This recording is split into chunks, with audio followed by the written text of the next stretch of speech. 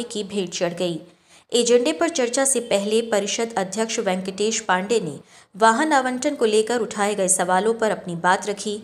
इसी दौरान कांग्रेसी पार्षदों से भी आपत्ति शुरू हो गई और देखते ही देखते भाजपा और कांग्रेस पार्षदों के बीच तीखी नोकझोंक शुरू हो गई। इस हंगामे के बीच महापौर अजय मिश्रा बाबा सहित कांग्रेसी पार्षद बैठक का बहिष्कार कर बाहर चले गए। गौरतलब है कि पूर्व में भी ये बैठक 31 अक्टूबर को हंगामे की वजह से स्थगित हो गई थी और इस बार भी स्थगित हो गई, जो अब 11 नवंबर को होगी। वाहन आवंटन को लेकर आयुक्त ने रखी अपनी बात। इस बैठक के दौरान नगर निगम के आयुक्त मृणाल मीना ने वाहन आवंटन को लेकर साफ़ किया कि जो कुछ भी हुआ है, वो नियम के तहत है। उन्होंने कहा कि वाहन आवंटन को लेकर एमआईसी सदस्य ने उन्हें पत्र के साथ सवाल करते हुए जो एक आदेश की कॉपी दी है, उसमें स्पष्ट उल्लेख है कि सतना, कटनी, भोपाल, देवास सभी जगह परिषद अध्यक्ष के वाहन उपलब्ध कराए गए हैं। विकास के कोई काम नहीं, निर्दलीय पार्षद नम्रता संजय सिंह ने कहा कि ऐसे ही परिषद चलती रही तो काम कैसे चलेगा? विकास के कोई काम नहीं हो रहे हैं। महापौर खुद मैदान छोड़कर भाग रहे हैं। सुनने की क्षमता नहीं रखते, सदन अच्छी तरह चले इसके लिए ध्यान रखना चाहिए। नगर निगम अध्यक्ष ने ये कहा कि खुद एजेंडा लाकर महापौर पार्षद साथियों के साथ अपने बैठक छोड़कर भाग गए। भगोड़ा महापौर कहा।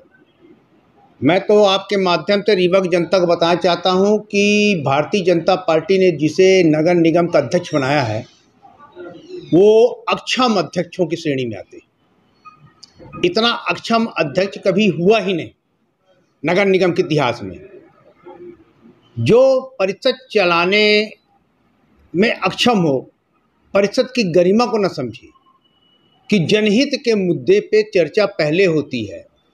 नगर निगम पालिक अधिनियम उन्नीस सौ छप्पन की धारा 31 में स्पष्ट प्रावधान है कि स्थगित सम्मेलन में अवशिष्ट कामकाज के अतिरिक्त कोई भी कामकाज नहीं किया जाएगा। जो पूर्व में एजेंडा आया था, इन चार विषयों का, उसके अतिरिक्त, पाँच विषयों पर, उसके अतिरिक्त कोई कार्यकाल नहीं हो सकता। इकतीस तारीख की बैठक जो हुई, उसमें इलेक्शन कराया लेखा समिति का, और इलेक्शन कराने के बाद फिर हंगामा की स्थिति चालू कर दिया कि हमको विकास कार्यों में चर्चा करनी है। पहले उसमें जब तक आप एजेंडे पे चर्चा नहीं करोगे, कोई भी चर्चा नहीं होगी। फिर अगर आपको विकास कार्यों में चर्चा करनी है तो दो तिहाई पार्षदों के हस्ताक्षर सहित आवेदक पार्षद जब अध्यक्ष को देंगे, तब उस पर चर्चा होगी जेंडर के पश्चात। जो अध्यक्ष अपने वाहन को लेकर परिषद में जो पीठासीन अधिकारी होता है पैंतालीस पार्षदों का, उसको सिर्फ़ अधिकार ही इतना है। परिषद का संचालन का ही अधिकार है। इसके सिवाय अध्यक्ष को कोई अधिकार नहीं है। अपने कक्ष को लेकर स्वयं बात कर रहा हो। उससे हल्का अध्यक्ष आज तक इस नगर निगम में कोई आया नहीं। महापौर पार्षद साथियों के साथ बाइकआउट कर गए। एजेंडे पे बात नहीं हो रही थी उनका कहना है। देखिए परिषद की जब बैठक आज के लिए बुलाई गई थी स्थगित बैठक थी। आप लोगों के समाचार माध्यम से प्रिंट मीडिया के माध्यम से दो चार दिनों से मुझे भी जानकारी मिल रही थी कि अध्यक्ष के वाहन को लेकर के प्रश्न चिन्ह महापौर के एमआईसी के सदस्य द्वारा उठाया गया था। फिर आज के समाचार पत्र दैनिक जागरण से भी मैंने जब सुना कि मेरे कार्यालय में जो मेरा कक्ष है, उसको लेकर के सवाल उठाए गए। परिषद बहुत ही अध्यक्ष, परिषद का अध्यक्ष एक बहुत ही जिम्मेदार पद होता है।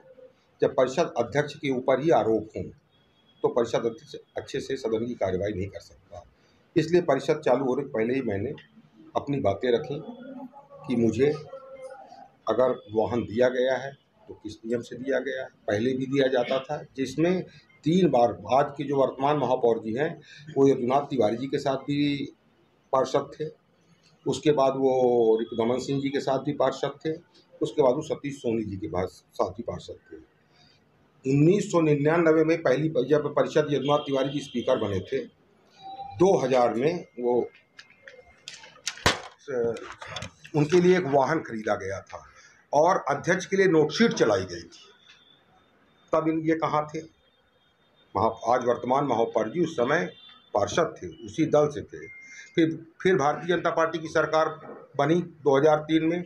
उसके पहले ये स्थिति थी कि नगर निगम के कर्मचारियों को दो दो साल वेतन नहीं मिलता था। 2003 में जब भारतीय जनता पार्टी की सरकार बनी, उसके छः महीने बाद रीवा विधायक राजेंद्र शुक्ला राज्य मंत्री बने। उसके बाद ही बनती उन्होंने रीवा नगर निगम को पहली राशि दो करोड़ रुपए दिलवाई थी। चुंगी क्षतिपूर्ति में, जहाँ, चुंगी क्षतिपूर्ति में, जहाँ आंकड़ा दो चार छः दस लाख का था, वहाँ करोड़ों रुपए चुंगी क्षतिपूर्ति दिलाई गई। तो निगम के विकास को देखते हुए, निगम के हित में बात न करके, क्योंकि ये कोई काम तो कर नहीं रहे हैं।